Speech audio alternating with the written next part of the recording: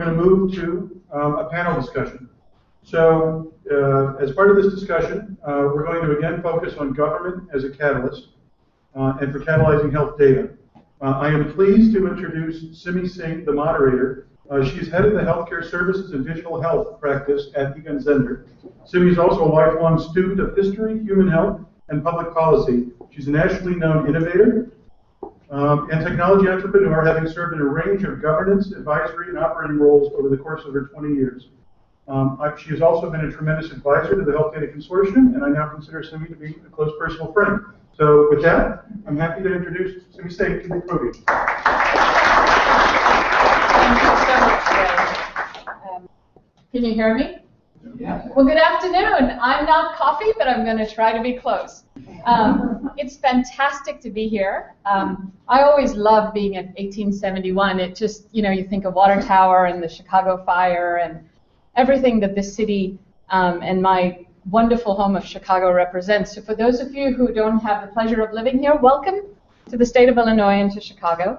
It's fantastic to have you here today. And I'm very privileged to uh, invite up my fellow panelists for a wonderful discussion. So if you'll join me um, on stage, that would be fantastic.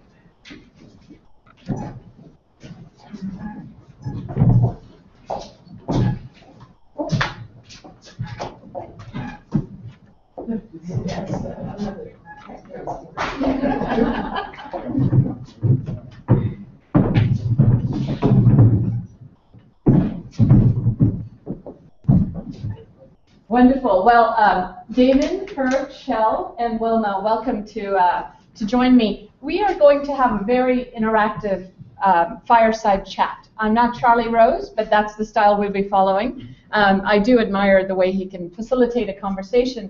Um, I've had the pleasure, actually, of getting to know many of uh, my fellow panelists here, and there's just a tremendous amount of information and insights and stories to talk about. So I'll introduce each one of these leaders to you. You have their bios. I'll introduce them as I ask them questions along the way, as opposed to in serial narrative. Um, and so perhaps the first uh, leader that I'm going to start with is you, Shell, if I could. Um, so Shell, as you can see, is the Chief Deputy Director of the Office of Systems Integration uh, for Health and Human Services in the great state of California. Um, although that said, Shell sort of started her career as an economist. She has a master's in economics. And she's really, through the course of a career, been kind of the quintessential polymath.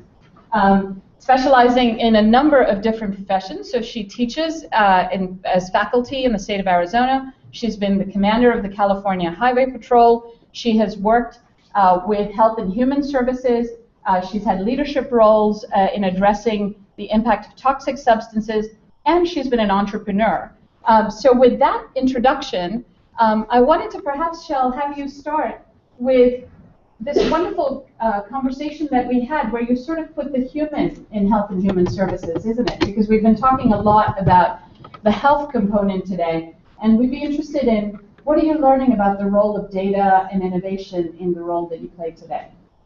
Thank you for that uh, fabulous introduction, um, some of which I can correct later. Um, I didn't run the highway patrol, but, uh, but I did work there. Um, I, I, think that from this last presentation, we heard from Dr. Wooten that there is a strong community component and there is a strong uh, social component to wellness. And uh, so, so at our agency, which is, which is the uh, Health and Human Services Agency for California, uh, we have both sides of that coin.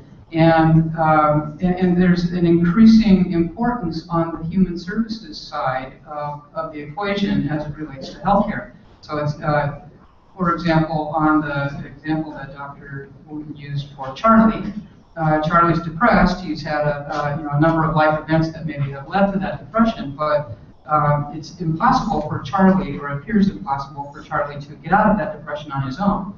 And that has a direct health impact for Charlie, but it, it's clearly a social dimension that we're addressing there. So I, I think as we look at this, uh, this notion of um, of health, we have to think about it in terms of, of human services as well, the social aspects and the, uh, um, the community aspects. Um, I don't know, how many people do we have here from New York besides Daniel? Um, so uh, evidently in New York City a number of years ago, not too many years ago, um, New York City had a uh, policy where they would not um, let a foster parent know that a foster infant, foster child infant that they were about to take into their home had HIV. So how would you expect that foster parent to care for that infant and know what to do um, if that infant, uh, you know, started having events? How would you expect that foster parent to protect themselves and their family? Um, that kind of data or information could not be shared because of a policy. Um, and uh, you know, recently, uh, I think those those of us in the audience who know anything about um, FERPA, um, recently the FERPA laws were changed so that foster parents could know that uh, their foster children were not going to school. Um, again, these are data elements that have not been shared with the people who's who is who are entrusted with the very care of the clients uh, that need the care, but can't receive that data because uh, someone is trying to protect that individual's privacy and confidentiality. And I'm not saying that we can't or shouldn't protect privacy and confidentiality. I'm saying we should do that where it makes sense. Um, and we should share things where it makes sense to share them. Um, so what we've been looking at at Health and Human Services Agency is how can we share as much as makes sense for the care of, of the individual or for the, the well-being of the individual, and, and where do those um, points of intersection occur? Uh, you know, how, who's making those decisions about privacy and confidentiality? And what we're finding is, you know, it's often an individual just like you or the person sitting next to you who has interpreted a statute in a particular way, and yet someone in a neighboring county or someone in a neighboring state has interpreted it slightly differently. So, uh, you know, they're, they're, not hard and fast rules, and, uh, and, and, a lot of what is needed here is education and awareness around, um, you know, what can and should be done. That's wonderful. Thank you, Shell. And I think one of the other stories that struck me when we had spoken um, was that um, um, so one of the other stories that struck me when we had spoken was when, I'm, and I correct me if I get this wrong, but you were sort of talking about, um, you know, foster children and the fact that the judge had to approve the administration of psychotropic drugs. And in fact, if you think about it, right, here's a judge approving the administration of a drug. He or she is not a physician, and they don't really have access to the medical record. So I think this recurring theme of tear the walls down to a higher purpose, sort of in the service of great questions, is a really, really interesting one. And I think a huge role that where the public and the private sector can kind of come together as human beings to do the right thing. Um, so with that, Herb, if I could next uh, introduce you and kind of bring you into our discussion. Um, I often think of people as sort of, you know, those who live kind of on islands and others who live on bridges between them. Um, and I think many of you are very interdisciplinary in that sense. And Herb, you sort of a board certified bridge dweller because you kind of used to this whole customer relationship, uh, you know, and the customer centric view to be an entrepreneur, to be a policymaker, to come in, you know, kind of as a firefighter into troubled situations across, uh, including with the Illinois prison system, as we'll talk about. Um, it struck me in the conversation with you, Herb, you sort of said, you know, the silos have been around since Lyndon Johnson in 1964, and um, and it's you know in some senses right, and that that that there's been a reason why all these walls were erected in the first place. And as many of you know, President Johnson in 1964 started many programs, right? Medicare, Medicaid, uh, the Head Start program, and that kind of thing. Um, and then in a talk that you had given, you also quoted uh, a confirmation hearing, which I thought was fantastic. Uh, an anecdote, which was I think President Eisenhower invited Charlie Wilson, uh, who would you know run GM, to be Secretary of Defense, and he was asked at his confirmation hearings as to uh, whether or not he would make a decision uh, as the Secretary of Defense that would be against the interest of General Motors. Um, and his response was a tentative sort of affirmatory response because he knew the answer had to be yes. But he said, I have thought for years that what was good for General Motors is good for America. And um, it's interesting, isn't it? It's been a long 60 years mm-hmm. uh, since, uh, and an eventful 60 years. And I was wondering, Herb, if you would talk about, uh, as you lived on this bridge between public and private, what are some of the initiatives you've been working on, and what are you learning about bringing us together? Uh, well, uh, the most interesting thing I think I've learned is that people are people, uh, and that people are good. Um, but when it comes to social engineering, people can sometimes become a little twisted. and so the challenge is being able to take the good in people uh, and turn that structurally into something that actually uh, changes things. So today, I, I, come from the commercial sector. I've only been in in, uh, in government service about four years. I had the, uh, blessing to be able to actually take the time to be able to do that. And holy smokes, uh, what an incredible arena. Um, I had an opinion about uh, government workers uh, prior to joining government service, uh, which has significantly changed the point where I'll fight anybody in a bar if they badmouth a federal worker or a state worker or a local worker. Because these people do incredible things. They're on the front lines, just like first responders on a daily basis, and the vast majority of people show up every day to do the right thing for people. The problem is, is that the structures that exist um, in, the, in government are really no different uh, than in multinational corporations, where from an IT perspective, if you do a merger and acquisition, uh, what you're trying to do is to meld uh, five different uh, IT systems or ERP systems, which are on, on different versions. And so what that translates into is the inability to get to the data, uh, one, and two, people protecting their data because of the rules and regulations uh, that, uh, that, Shell mentioned. So what I found that is most successful uh, is to be able to appeal to the greater good or the common good of what it is that people are attempting uh, to do. Um, people have very, very limited views, not their own fault, about uh, where they are. So in Illinois recently, I've been working for the last couple of months with a thing called the Framework. Uh, it's a very unique project um, may not seem unique to you from everything that we've discussed here in terms of what technology can provide. But since the Johnson administration, uh, all of the programs which we consider to be human services programs, oh, and that dirty word which we called welfare a long time ago, as all of those programs developed, in Illinois it turned into seven, eight, nine different departments. So if you want to get a single view of an individual in the state of Illinois who's being serviced by more than one program, you're probably touching the majority of those nine agencies. Think about that just for a second. Let me give you the next number. 17% um, of the people who receive health and human services from these agencies represent 58% of the state budget for health and human services. And as you know, in most states in the United States, more than 60% of state budgets are um, uh, health and human services. You know, that's fascinating, right? I mean, speaking of numbers, uh, one of the things that I was thinking about, I mean, you know, in the private sector, right? Of frequent flyers, they get the most attention. I, I live on a plane out of O'Hare and I store my family in the suburbs. But but I you know I get treated like royalty. Like my neighbors wonder if I'm the cleaning lady, but when I get to O'Hare, I get to go to flagship check-in and I'm a goddess on American Airlines. And I think that, that what's really fascinating is you know, you gave me a really interesting statistic or a story about a project that you were working on with the prison population, and I sort of, being a curious cat, kind of Googled and figured out that the Illinois prison system is supposed to hold approximately 33,000 prisoners. It has, as of a statistic that I was able to gain from about 12 months ago, it was running at an all-time high of 49,000 occupants. Which then led me to wonder, well, how big is that, right, in the context of kind of the services industry? And I discovered that Chicago very proudly, in our Olympic bid, stated that we had 101,000 hotel rooms, right, in this three, four, and five star category.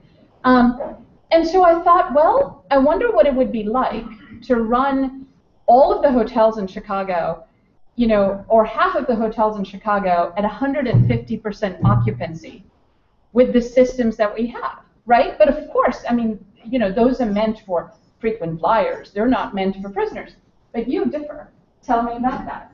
Well, simply what what, uh, what happened is is that uh, I was lucky to come in uh, to state government uh, just about the time. For those of you who live in Illinois, you may recall this uh, several years ago, where our current governor woke up one morning to headlines, including in the New York Times, um, that were not very positive. because about 2,000 prisoners had been released a few days earlier, around between Thanksgiving and, and end of year holidays. Um, and unfortunately, a significant number of those people went out and uh, pillaged and done other- things uh, that uh, quickly uh, forced them to be put back uh, into prison. So as this became a, um, both a, social policy issue, a criminal justice issue, uh, a political issue, um, I was, uh, unbeknownst to myself and being very naive, was dragged in and said, and told, fix this. And I said, well, wait a minute, this is really about policies and the way people make decisions. Um, and they said, no, it's the computers. It's the computers' fault those people got, uh, got released. So I went and looked at these computers, and in fact, uh, there was a mainframe system where all the data was kept, uh, the majority of the data was kept, which had been turned on, the button had been turned on to run the system uh, to manage the prisoners uh, when Bill Cosby and Roseanne Barr were the most popular TV programs. Then there were another set of about 40 uh, applications and databases that had been built uh, sometime uh, in the uh, in the early uh, mid 1990s. And when anyone needed to make a decision about a prisoner, a simple decision, it required days and sometimes weeks to be able to actually physically assemble all of that data. We're talking about data, right? But it took that amount of time to be able to deliver, to pull it together. So long story short, I, I was told, fix it. Uh, and I looked at what tools I had available to myself. Um, and I took a very interesting approach. I took a prisoner-centric approach or a person-centric approach. Uh, let me stress that uh, I want to make an important point. This is a technical decision, not a bleeding heart decision. Uh, what I mean by that is, is that it's not a feel-good idea. It's actually an approach to uh, to information and, and managing data. And the architecture uh, and hierarchical approach to building around an individual becomes very, very powerful when you begin to think about it. So what I did is I took a customer relationship management system, which we're all probably familiar with, which is used for managing uh, the sales to a customer, uh, and I built a prisoner management system. And then I went to all of the bosses, and they wanted to fire me because these are criminals. What do you mean treat them like a customer? And I said, well, you're, they're, they're your customer. You deal with them every day. Uh, and so you should be able to aggregate the data about these individuals on a regular basis and make good decisions. So the final point about this is, is that in this context, what we're doing at the framework uh, in uh, addressing health and human services is we're not out, out to automate the decision making and have technology make the decisions. We want human beings to make the decisions. And the old idea of IT, of computer science, was decision support. Somewhere along the way, uh, the promises of artificial intelligence kind of confuse that.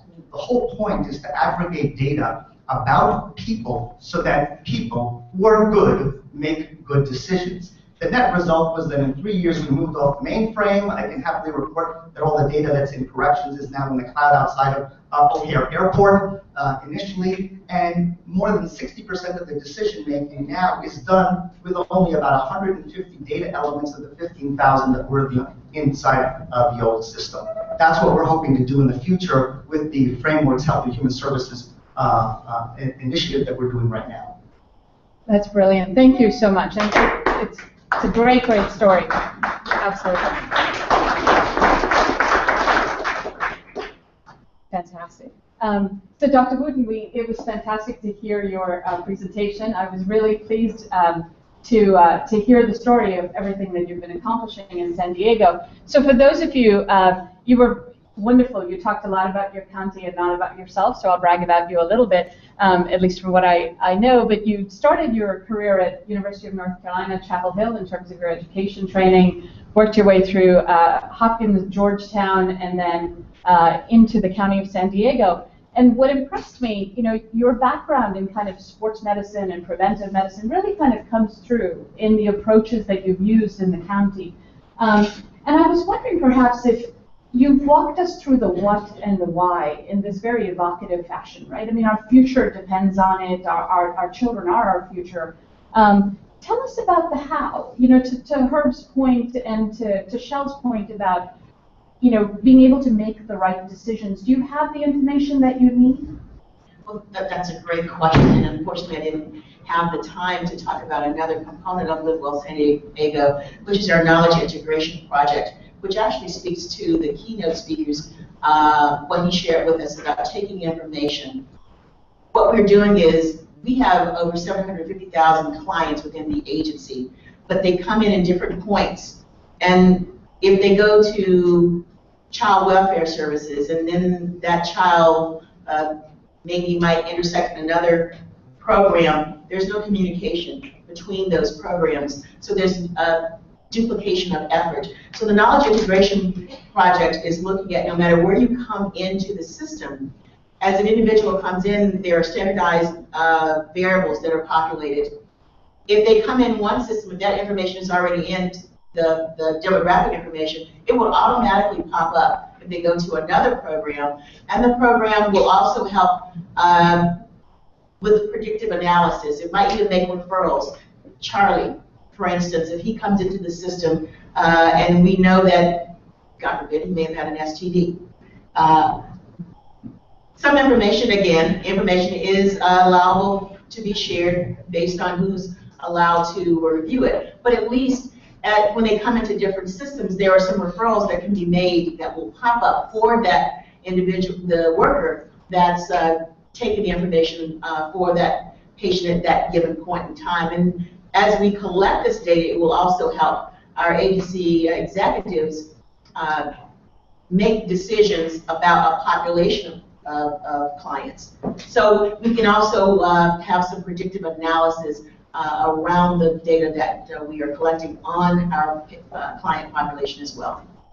Fantastic. Um, well, that's, um, you know, I, I, I, love sort of learning through stories because I think what's really interesting is to be able to, you know, take the, the headlines that people talk about and look at the wonderful examples of where uh, interdisciplinary collaborations are being created in government. And that brings us to you, Damon. I mean, you've been trained in business. I've had the the pleasure and privilege of being a colleague of yours briefly at, at HHS as well. Um, and you've been you've taken on a number of different roles. I think as you've been inside uh, government after your business training. Um, obviously at ONC, you uh, manage the Blue Button community, and I'd love for you to, you know, Bryan wonderfully talked about the impact of that project, but I'd love for you to share for those who don't know what Blue Button has accomplished. It's a tremendous, tremendous project. Um, but I'd also, you know, you, you work in consumer e-health, and I perhaps thought we would talk about that a little bit, you know, access, action, attitude. You talk about sort of the three A's and what those mean. Um, but I, I perhaps would start with the fact that, you know, there's so much discussion nowadays, obviously, about CMS, right? But to think about it, this is an over trillion dollar agency.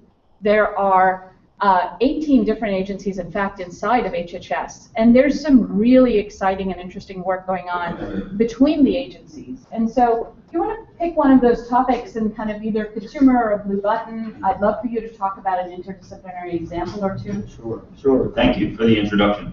Pardon me. So, um, yes, I've spent time at the Office of the National Coordinator for Health IT. Uh, I worked in our consumer e-health program for quite a while, and I was there at a time when we adopted the Blue Button program from the Department of Veterans Administration. Um, it was a really interesting time because, uh, as you all know,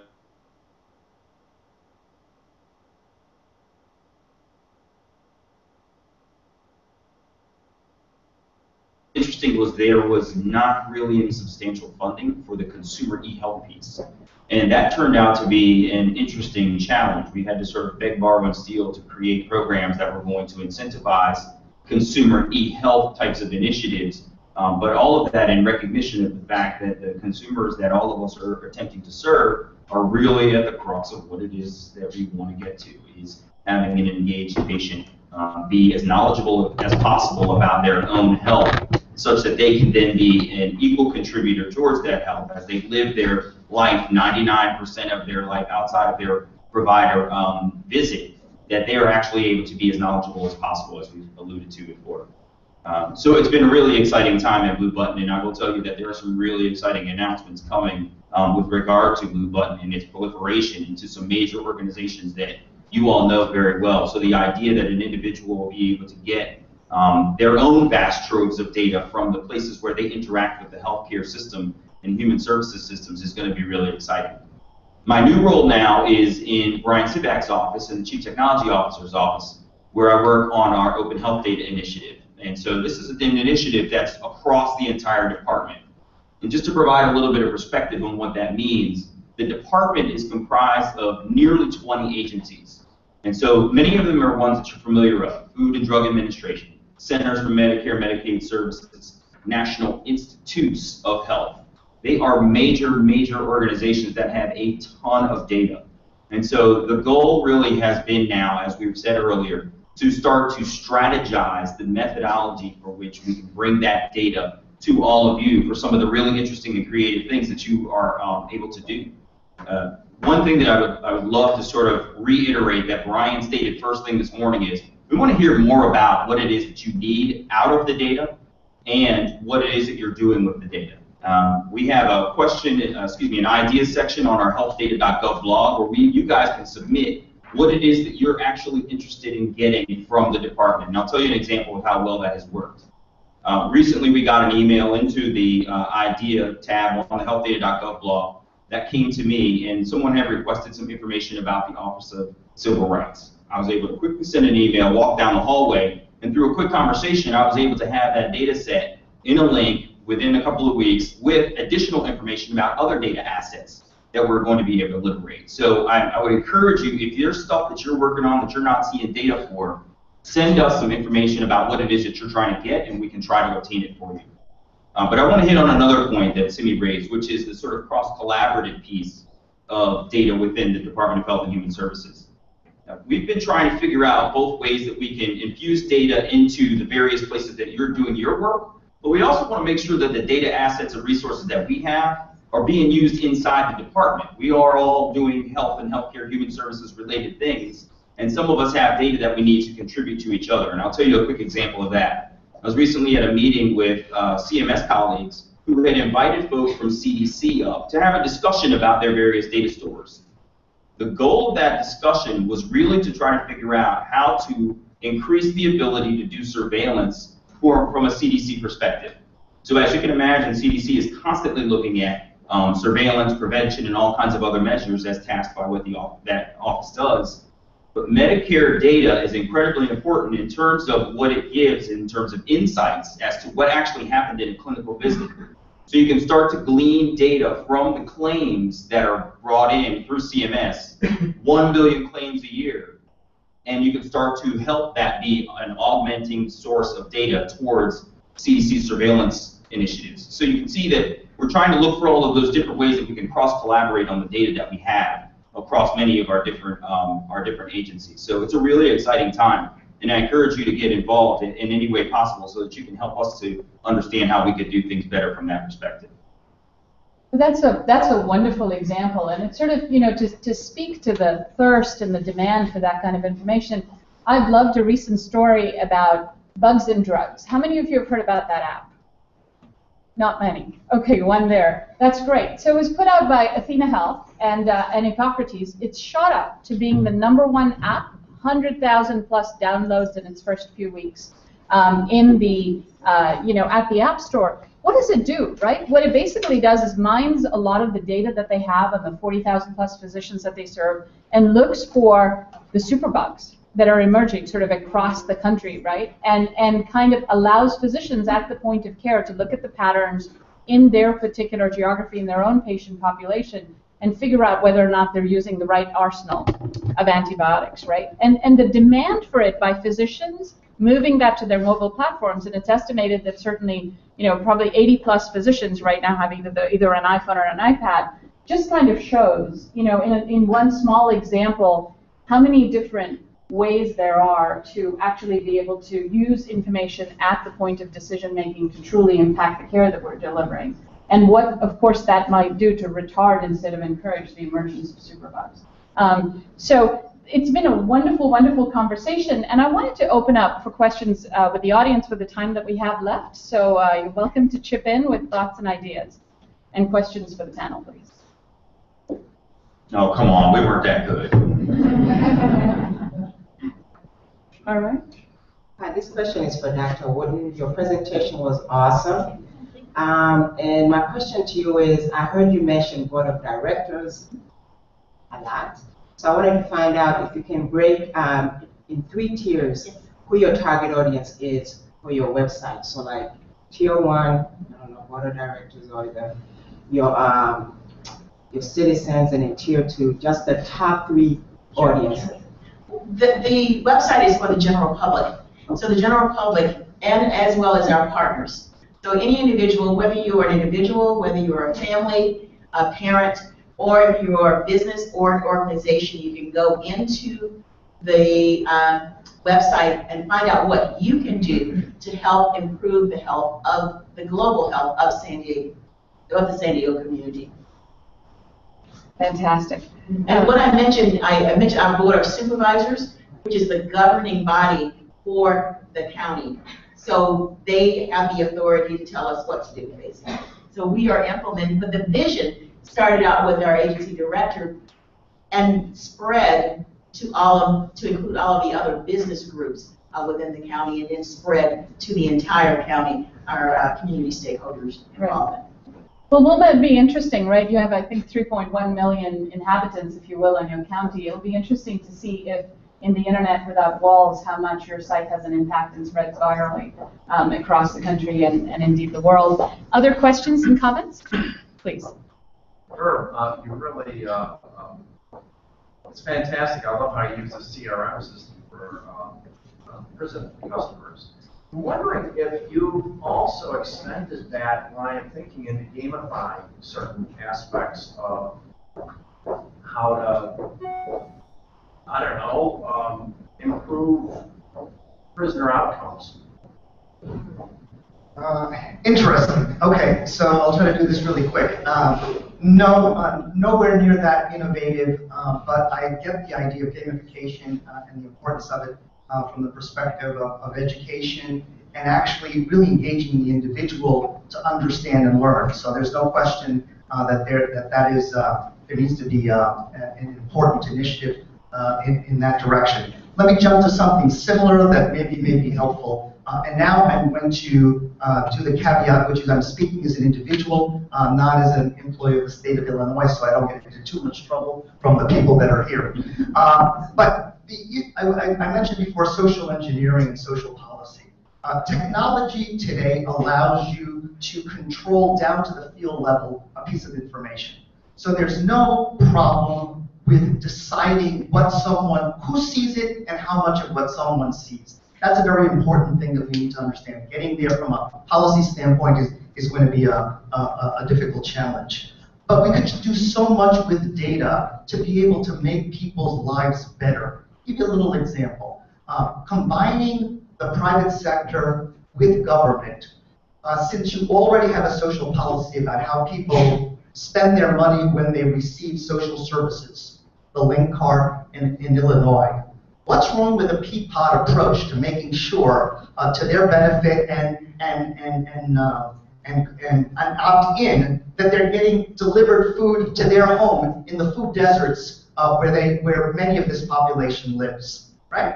Um, and doing that can be done from a, from from the standpoint of educating on the front end. There's a company I'm they're probably not even uh, represented here uh, called Jellyvision uh, that I've been that I've been looking at. If you're all familiar with it, it's a very good are you from Jellyvision? Okay. so, but the, the, the, basic point of, of what it is, it's a gamification approach to just getting someone to answer a series of questions with a machine, but you actually feel that you're dealing with a human being. And what it does is it leads you down and then, then else a process, a branching process of decision making, which then provides you information or directs you to the place where you're going to go. There's so many technologies out there. The data is already out there. There's so many business models that are all out there. The problem is, is bringing all of those people into the same room to problem solve from that perspective. I have a comment to add to that as well. Um, I, I, just recently, I don't know if anybody knows what Duolingo is, right? It's a game to learn a different language, and you can, you know, choose whatever language you want to learn, and, and it's gamified. So it's, you know, it does actually it is fun, you know, you just, and you do it.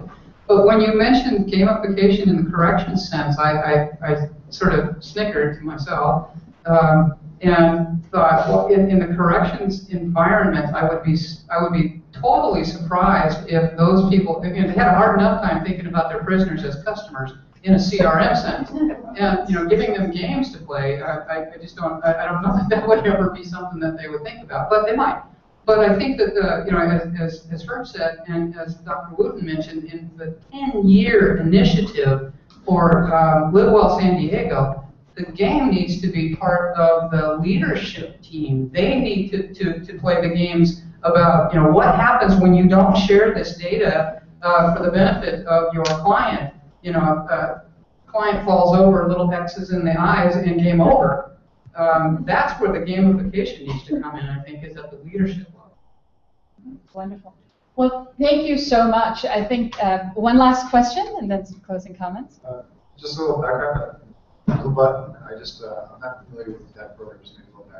Sure. Um, so the Blue Button program is basically an initiative that was started with the Department of Veterans Affairs before it was moved over to the Department of Health and Human Services. Um, the background story is that, as you probably know, veterans traverse the healthcare system in many different ways. Some of them are constantly in the health in the VA system, but oftentimes are required to go out of the healthcare system that the VA provides to um, private providers. And what ends up happening is with a myriad of comorbidities and other things, you end up pulling records from all different kinds of places. And so you end up with this classic care coordination issue.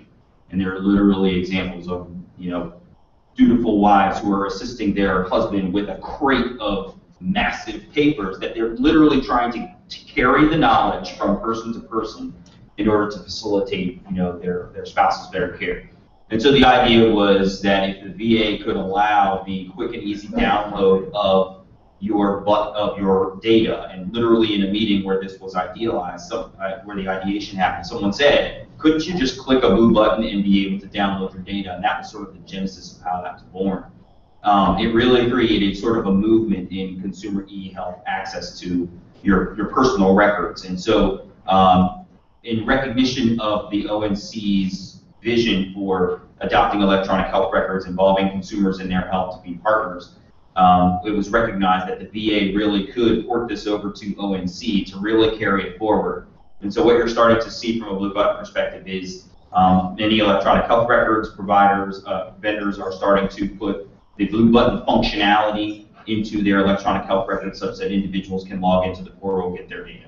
Um, you're going to start to see it in more con- uh, commercial outlets where folks are engaging with health, say um, their local pharmacy or what have you. And so it, it, Blue Button is not a product, you can't hold it, uh, but it is sort of a, a set of standards and processes that qualify as being categorized as Blue Button. But we needed to make sure that there was actually a continuation of this branding so that if an individual starts to hear about Blue Button, they, actually can walk in and ask for something. You don't want to walk in as a patient saying, can I have access to my record based on the standards of blah, blah, blah. You need to be able to say something really quick and easy and be able to look for something really quick and easy on the portal. So that's the general idea behind Blue Button, is the, the movement towards that standardization of an individual being able to capture their record, port it along um, to different places, and, and really be the mediator of their own uh, health data exchange better care. Right, and from what I, what I understand, there's already been millions of downloads. Millions. Millions of Millions, downloads. I mean, you know, millions, in yes. fact, so many of us whose parents perhaps are in the Medicare program don't know about Blue Button, and we should,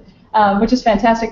I'll, I'll, uh, I'll perhaps close as I, you know, sitting here looking at Kaveh, who's been inspiring me for, uh, for decades since he was two. Um, but, but the, um, but you know, one of the things Kaveh said in his presentation, which I thought was very evocative, is that the digital world is coming to health, whether we like it or not.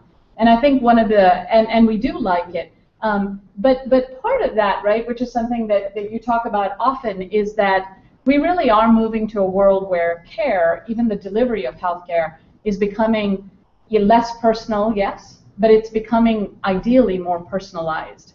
And what's really interesting is that it seems to me that saying holds true for the world of information as well, because if we are looking at the world's most giant level of table of contents, we're having more conversations with the internet than we are with each other looking for information. And wouldn't it be wonderful if so much of what we're looking for continues to get rapidly more personalized, which of course, you know, raises this big, big dialogue that we're all having in our country as we realize that the angry birds are actually hungry birds and they're taking all of our information and that, that, that Google, you know, as they drive by to kind of make sure they have a picture for, for their Maps application actually takes passwords and stuff uh, while they drive by.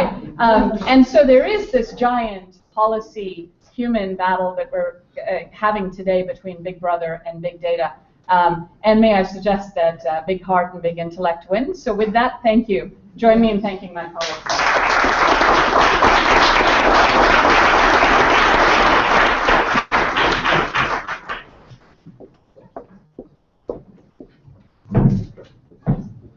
Thank you, Simi, for the expert facilitation, and to the, uh, to all the members of the panel. Um, I have to say that it is, uh, it is entirely encouraging to see, um, to see leaders in government taking point, driving, uh, driving some things that may, probably, I have to think a few years ago, some of these felt odd. It's impossible for me, it's not impossible. Um, I think for anybody to sort of think three or four years ago that we'd have a thousand data sets up on the web would have been laughable, seriously. What has been achieved in the last couple of years is absolutely stunning, and I congratulate everybody that's really making that happen. Um, next up, we have, uh, we're going to introduce you to uh, Steve Ellsworth. This is a slight change, not in the topic, but in the delivery mechanism um, on the agenda. Uh, Steve has more than 20 years of client services experience. Steve is with a company called Socrata. Socrata is uh, one of the breakout tools helping these and others take data and make it available for the public.